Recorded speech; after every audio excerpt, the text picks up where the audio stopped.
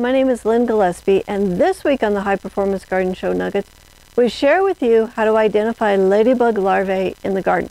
Here's a clip from the show.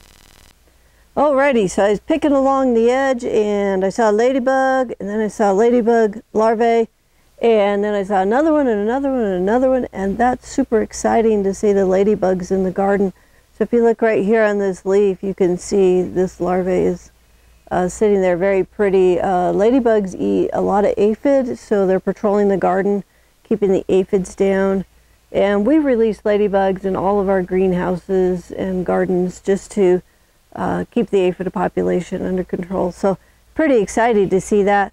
They say that one of these little guys can eat like a hundred uh, aphid in a day, and I, I would like to see that. That's pretty impressive. But this clip is from the High Performance Garden Show Year 9, Week 7. If you'd like to watch the whole show, it's free, it's online, and you can enroll on our website at thelivingfarm.org slash high-performance-garden-show.